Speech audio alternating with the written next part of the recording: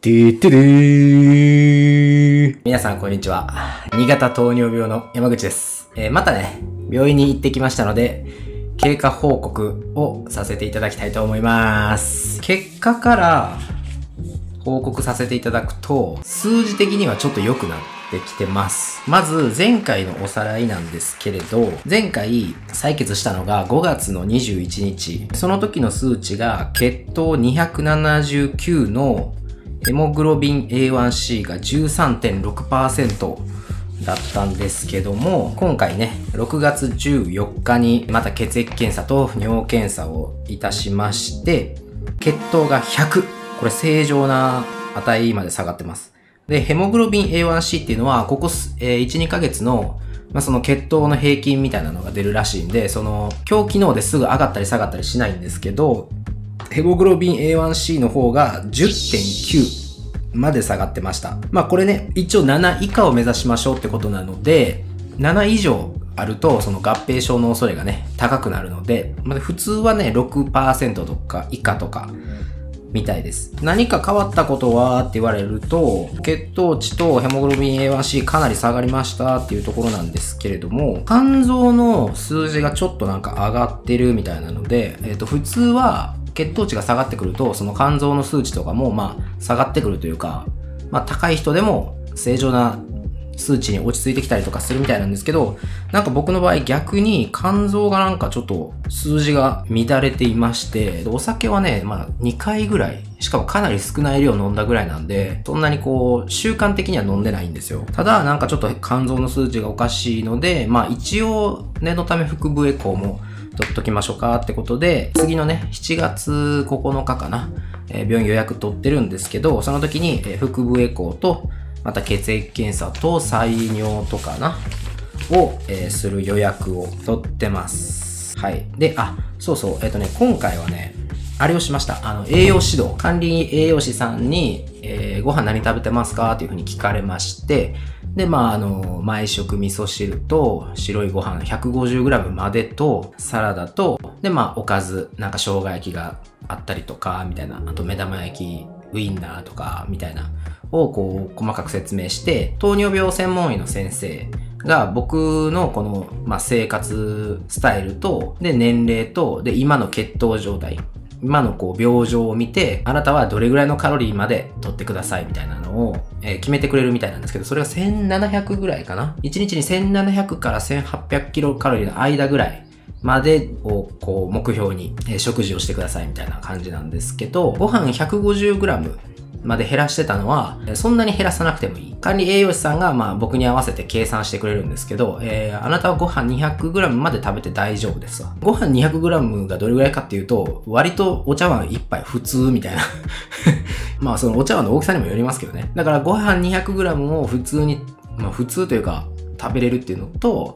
で、えっ、と、味噌汁3食は塩分が高くなるということで、日本人男性が、まあ、1日に取る食塩の量が、まあ、推奨 6g ぐらいらしくて、日本の一般男性はだいたい平均 11g ぐらい取ってるらしいんですよ。で、まあ、それあんまり良くなくて高血圧になっちゃうんで、まあ、できれば 6g を目指しましょうと。どうしても糖質を抑えようとすると塩分が高くなる傾向になることが多くて、まあこれ僕も感じてたことで、塩分気をつけてはいるんですけど、味噌汁はめちゃくちゃ体にいいもんで全然何本飲んでもいいと思ってたら、えー味噌汁1杯で食塩 1g ぐらい約入ってるらしいんですよ。なんで、えー味噌汁を毎食飲んでしまうと、それだけで1日 6g って考えたら1食 2g じゃないですか。その半分をもう味噌汁で取ってしまうことになるんで、えー味噌汁は1日1杯までにした方がいいです。おすすめは。まあそのね、飲んじゃダメとかじゃないですけど、えー3食取っちゃうとちょっと塩分が高くなるかもみたいな。なので、えー味噌汁1日1杯までにして、で、サラダをたくさん取る。えー野菜はもういくら食べてもらってもいいです、みたいな。ぐらいかな。で、お肉も糖質はそんなに高くないから、たくさん食べていいと思ってたんですけど、えー生姜焼き見せてもらうと、えっ、と、山口さんの場合は、まあご飯が200で、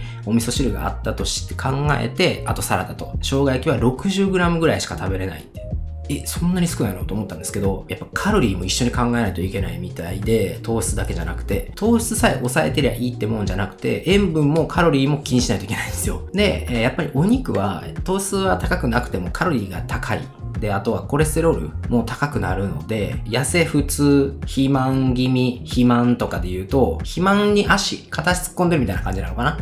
で、僕今、えー、病院で測った体重が77キロで、身長が170とかなんですけど、僕はだいたい69キロから71キロぐらいまで落とした方が本当はいいらしいので、まあ、マイナス6キロとか7キロ、8キロとかですね。僕の体的には体重を落とした方がいいので、コレステロールも、えー、気をつけてくださいということで、えー、栄養指導いただいたんですけど、栄養指導を受ける前に、その糖尿病の専門医の先生とか、あと看護師さんとかですね、糖尿病の人はこれぐらいを目安に頑張ってくださいね、みたいな、こうなんかもうほんまにめっちゃ簡単な冊子なんですけど、それにそのご飯 150g とか、あとまあサラダとか、まあいろいろ書いてあったんで、ご飯を 150g ってもきっちり守ってたんですよ、ずっと。そしたら、管理栄養士さん、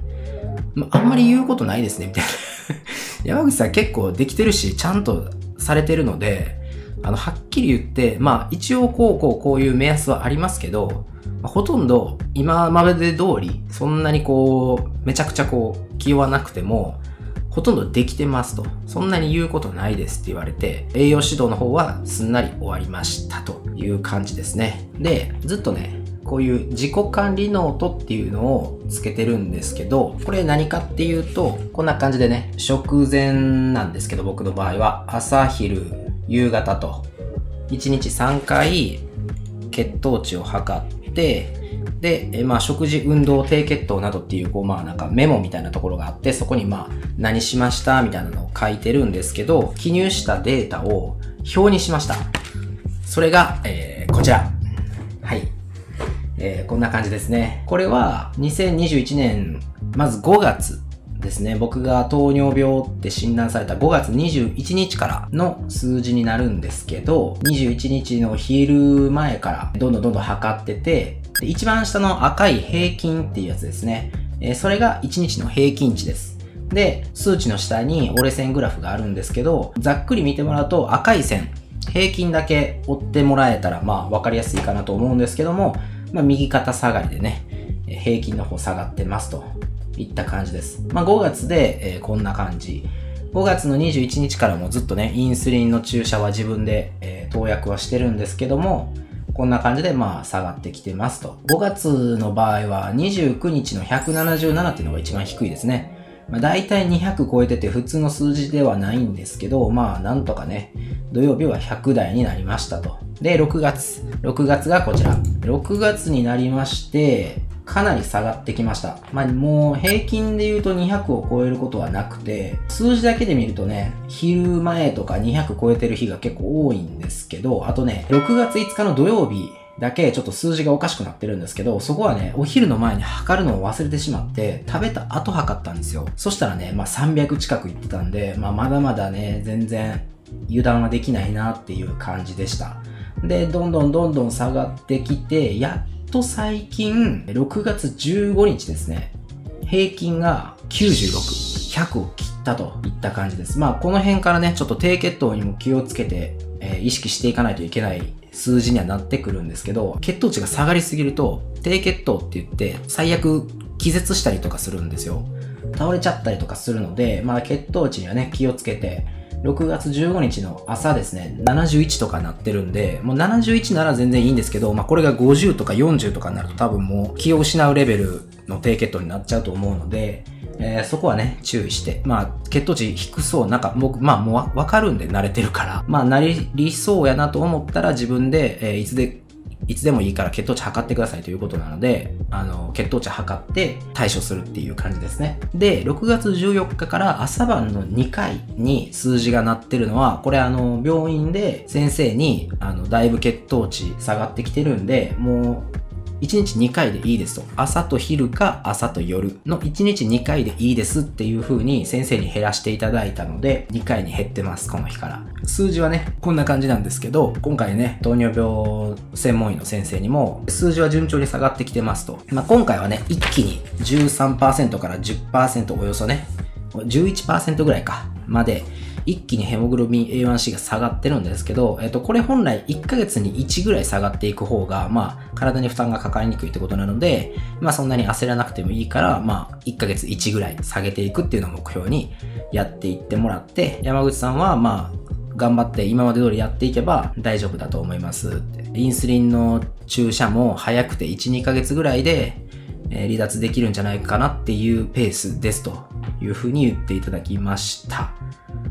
はい。というわけでね、えー今回はこんなところかな。はい。またね、7月の9日かなに病院に行ってきて、その時腹部エコーとかも取りますんで、またそちらのね、結果報告させていただければなと思います。はい。で、このグラフもね、またその時に出しますんで、どうなったか楽しみに待っていてください。それでは最後までご視聴ありがとうございました。高評価、チャンネル登録よろしくお願いします。あとコメントも待ってます。さよなら。